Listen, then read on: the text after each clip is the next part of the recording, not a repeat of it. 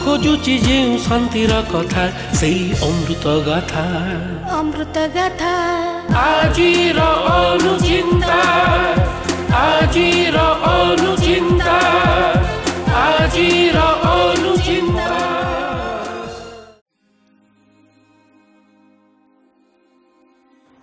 ନମସ୍କାର ଓମ୍ ଶାନ୍ତି ଆଜିର ଅନୁଚିନ୍ତା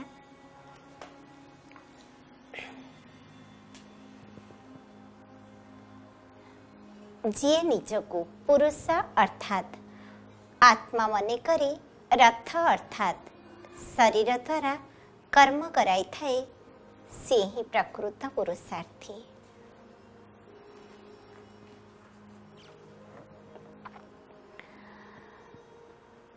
ଆମେ ଜାଣିଛେ ଆମେ ସମସ୍ତେ କର୍ମକ୍ଷେତ୍ରକୁ ଆସିଛେ କର୍ମ କରିବା ପାଇଁ। କିନ୍ତୁ କର୍ମ କିଏ କରୁଛି କାହା ଦ୍ୱାରା କରୁଛି କି ପ୍ରକାର କର୍ମ କରୁଛି ମନୁଷ୍ୟ ଯେଉଁ କର୍ମ କରେ କେତେବେଳେ ତାହା କୁକର୍ମ ହେଇଯାଏ କେତେବେଳେ ତାହା ସୁକର୍ମ ହେଇଥାଏ ଯେତେବେଳେ ସୁକର୍ମ କରେ ସେତେବେଳେ ତାକୁ ସୁମାନବ କୁହାଯାଏ ଯେତେବେଳେ କୁକର୍ମ କରେ ସେତେବେଳେ ତାକୁ କୁମାନବ ବା ପାପୀ ଆତ୍ମା ବା ବିକାରୀ ଆତ୍ମା ବୋଲି କୁହାଯାଏ ଆତ୍ମା ହେଉଛି ପୁରୁଷ ଶରୀର ହେଉଛି ରଥ ଯେମିତି ଭାବରେ ଆମେ ଦେଖୁଛେ ଗୋଟିଏ ମୋବାଇଲ ସେଟ୍ ତା ଭିତରେ ଯେତେବେଳେ ଆମେ ସିମ୍ ପ୍ରବେଶ କରେଇଥାଉ ବା ଗୋଟିଏ ସିମ୍ଟେ ଭରିଥାଉ ସେତେବେଳେ କ'ଣ ହୁଏ? ମୋବାଇଲ ଆକ୍ଟିଭେଟ୍ ହୁଏ। କାମ କରେ ଆମେ କଥା କହିଥାଉ ବା ଯେକୌଣସି କାମ ମୋବାଇଲ ଆଧାରରେ କରିଥାଉ। ସେହି ପ୍ରକାର ଭାବରେ ଯେତେବେଳେ ଏହି ଶରୀର ରୂପୀ ରଥ ଭିତରେ ପାଞ୍ଚ ତତ୍ଵର ଶରୀର ଜଡ଼ ଶରୀର ରଥ ଭିତରେ ରଥି ଯେତେବେଳେ ସବାର ହୁଏ ସେତେବେଳେ ରଥକୁ ଚଲାଇଥାଏ। ଚାଲିଲେ ହିଁ କର୍ମ। ଆମେ କହୁଛେ କରୋତି ଇତି କର୍ମ କରିବା ଅର୍ଥ ହିଁ କର୍ମ ତାହେଲେ କି ପ୍ରକାର କର୍ମ କରିବା କେଉଁ ଭାବନାରେ ରହିକି କର୍ମ କରିବା ତାହେଲେ ତାହା ସତ୍କର୍ମ ହେବ ବା ଆମେ ପୁରୁଷାର୍ଥୀ ହେଇପାରିବା ସେଥିପାଇଁ ଆମେ ଯେତେବେଳେ ଭାବିବା ଏହି ଶରୀର ରଥରେ ଆତ୍ମାରଥୀ ବା ପୁରୁଷ ଯେ ଶରୀର ରୂପୀ ପୁରରେ ବିରାଜମାନ ତାକୁ ପୁରୁଷ କୁହାଯାଏ। ଯେ କି ଆତ୍ମା। ଏ ଶରୀର ଉପରକ ରଥରେ ପ୍ରବେଶ କଲା ପରେ ତାର କର୍ମ ଆରମ୍ଭ ହୋଇଥାଏ। ମାତୃଗର୍ଭରେ ଗୋଟିଏ ମାଂସ ପିଣ୍ଟୁଳା ସୃଷ୍ଟି ହୁଏ। ସେଥିରେ ଯେତେବେଳେ ଆତ୍ମା ପ୍ରବେଶ କରେ ସେତେବେଳେ ସେ ଶରୀରଟି ଘୁରିଥାଏ ବା ମୁଭମେଣ୍ଟ କରିଥାଏ। ଯେପର୍ଯ୍ୟନ୍ତ ତା ଭିତରେ ଆତ୍ମା ପ୍ରବେଶ କରେନି ସେ ପର୍ଯ୍ୟନ୍ତ ଶରୀର ଜଡ଼ ହୋଇଥାଏ।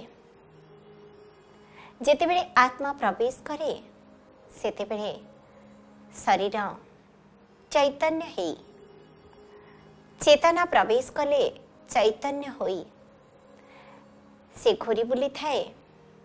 ମାତୃଗର୍ଭରୁ ବାହାରି ତାର ପ୍ରତ୍ୟେକ କାର୍ଯ୍ୟ ଆରମ୍ଭ କରିଥାଏ। ତେଣୁ କଥା ହେଉଛି ଆମେ କର୍ମ ତ ସମସ୍ତେ କରିବା ପାଇଁ ଆସିଛେ। କେଉଁ ଭାବନା କେଉଁ ଚିନ୍ତନରେ ରହି କର୍ମ କଲେ ଆମର କର୍ମ ଶ୍ରେଷ୍ଠ କର୍ମ ହେବ? ଆମେ ପ୍ରକୃତ ଆତ୍ମା ପାଇଁ କର୍ମ କରିବା। ସମସ୍ତେ କର୍ମ କରୁଛେ କିନ୍ତୁ ଯେଉଁ କର୍ମ ଆମେ ନେଇକି ଯିବା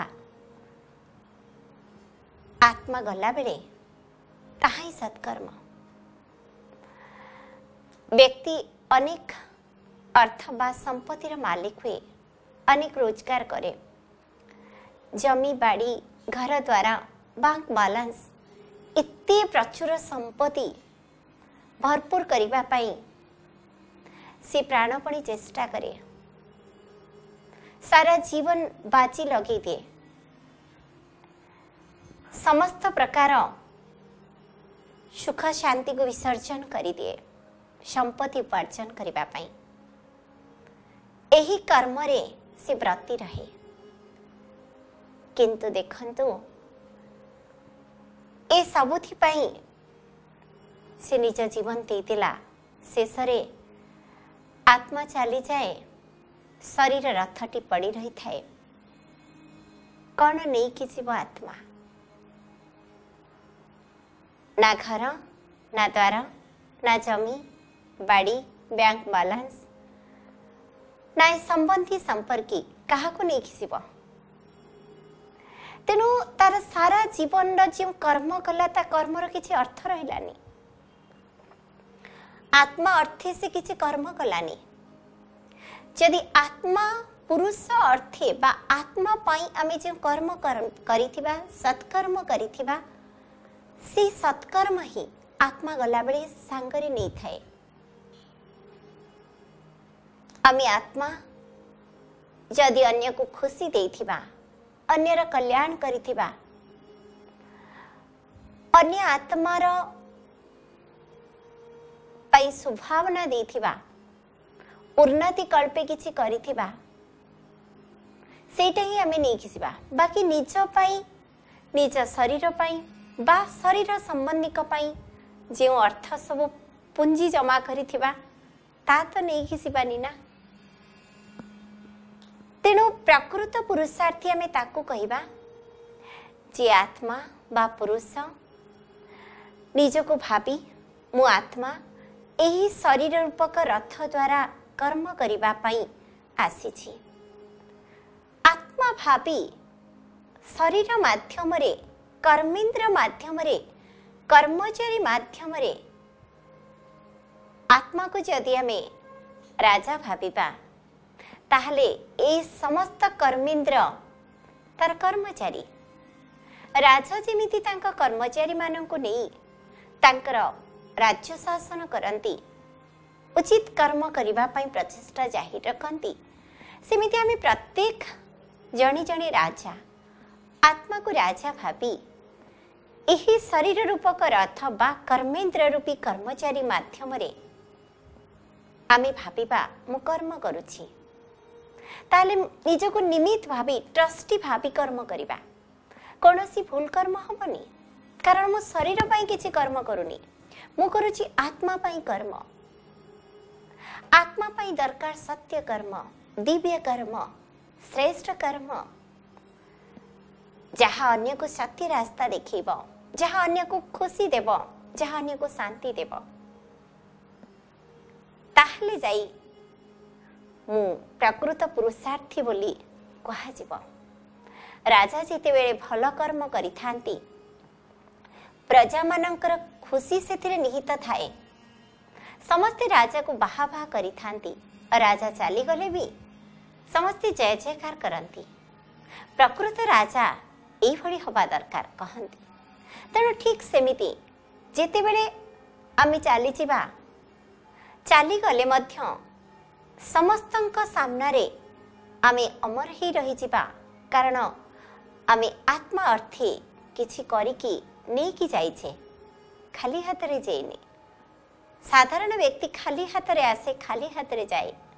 କିନ୍ତୁ ଯେତେବେଳେ ଆମେ ଆତ୍ମା ଅନୁଭୂତିରେ ବା ଆତ୍ମା ଭାବନାରେ କର୍ମ କରିବା କର୍ତ୍ତବ୍ୟ କରିବା ଆମେ ନିଜକୁ ଭରପୁର କରିକି ନେଇକି ଯିବା।